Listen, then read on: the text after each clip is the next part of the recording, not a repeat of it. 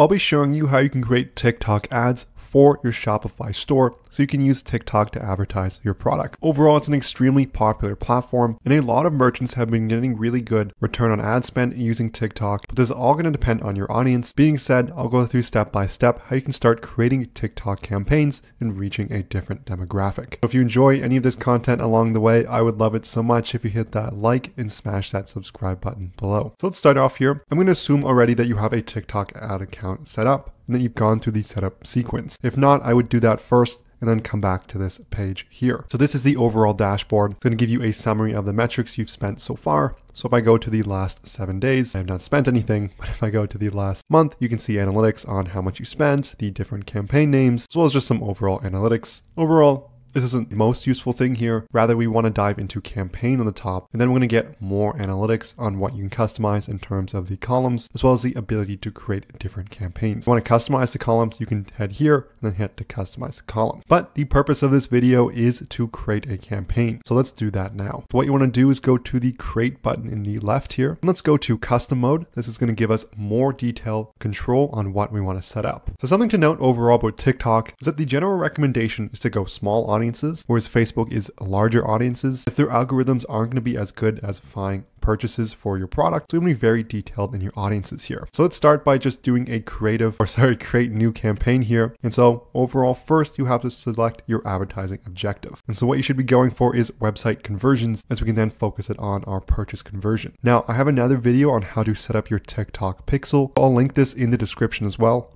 and I'll try to put the timestamp up. So hopefully that shows up okay. Again, if you haven't done that, go do that first, then come back to this step. So once we hit website conversions, it's going to ask us to create a campaign name. I'm just to call this Ecom Masterclass here, but I would give it a name relevant to your product and maybe the audience you're targeting.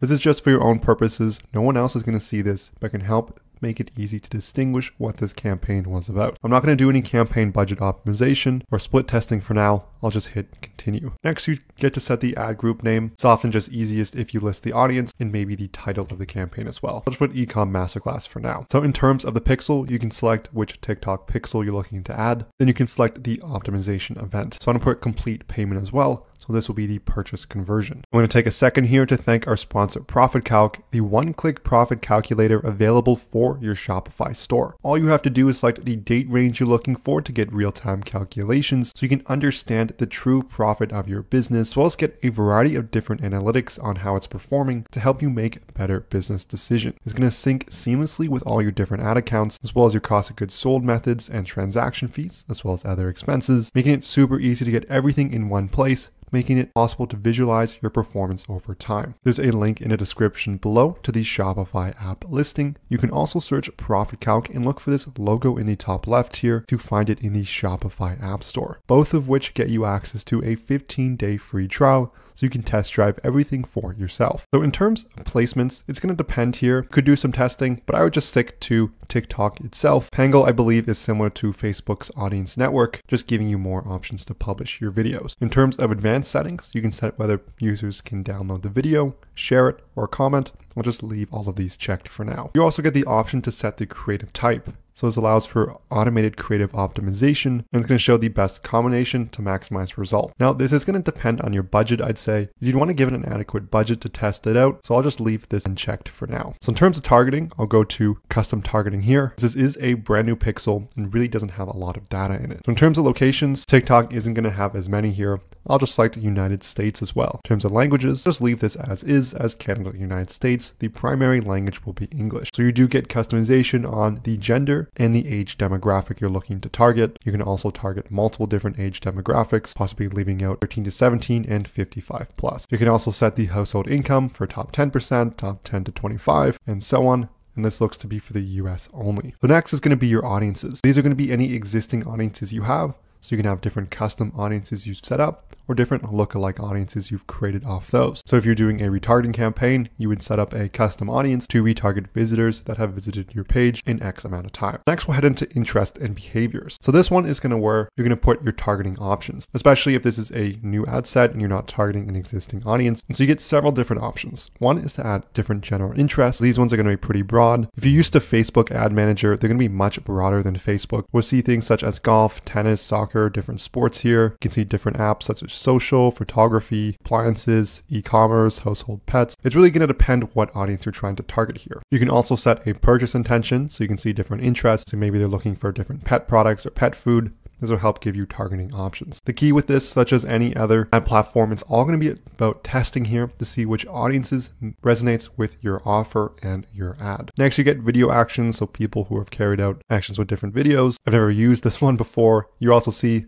different creative or creator actions here, so who they followed or interacted with. It gives you overall categories such as romance, society, family, and so on. So again, very specific to what you're looking for in terms of the audience you're trying to target. Lastly, you have hashtags. So you can search different hashtags here. You're not going to have every hashtag you've ever seen, but let's say you're targeting drop shippers. You can then see different tags such as drop shipping, drop shipping tools, drop shipping Brazil, drop shipping secrets. As you start different options here, you can see the audience sizes in the top left. So next you can see device targeting. So you can set up whether you want to target different platforms. Maybe you have an app that's only available on iOS, although not really relevant if you're selling physical products. Next, you have targeting expansion. And so this will just expand your targeting if it thinks that it can find more conversions there.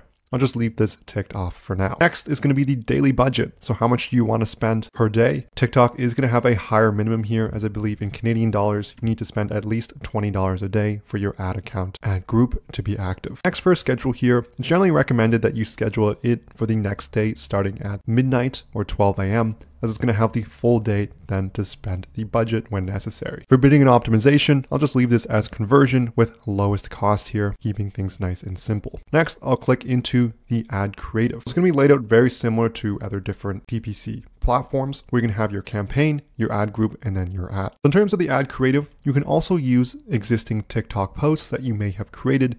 To do so, you need to link it to your TikTok ads manager. Then you want to hit use TikTok account, deliver Spark ads. Then you can see your linked TikTok account show up and then you can select a specific post. In terms of creating the ads, they're going to have to be video formatted and you want to make sure it's going to match TikTok viewing size. So that's something important to note as well. I'll add a video here. This is one I created before. Then in terms of text, you can say something between 1 in 100 characters, and you're not allowed to use emojis. So I might just say 50% off for a limited time, or just something along those lines. Next, you get to set the website you want anyone who's clicked through to go to. So you can enter your URL here. And that's pretty much it for setting up your TikTok app. As once you're done here, this is already filled out here as you get additional tracking for different app events or third party tracking settings, but this is optional. So once you're done, just hit submit here and that will submit your ad for approval. If approved, you will begin spending shortly after, or depending when you set the campaign to start. So in a nutshell, that's how you create your TikTok campaigns. Something important to note is that you want to have your pixels set up to track purchases correctly,